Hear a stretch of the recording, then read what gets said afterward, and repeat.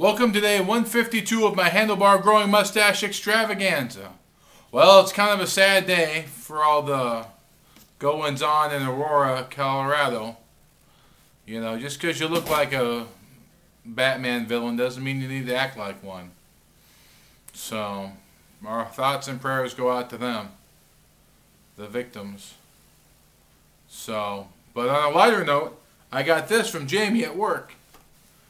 It's got a picture of my mustache, talking about getting rides and stuff. So I got that going for me.